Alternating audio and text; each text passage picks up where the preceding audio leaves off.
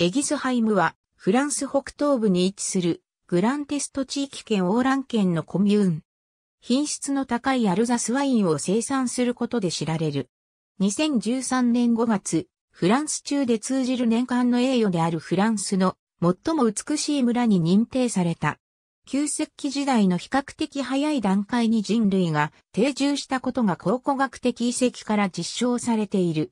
有史時代の初めにスノンヌガリアの部族が居住した。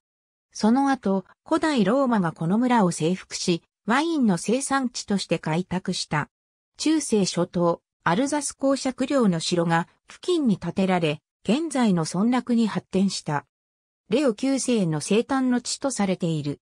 アルザス語の国名入りのエギスハイムの窓アルザスのワインの道の通り道として、村の中心部では多くの観光客を受け入れている。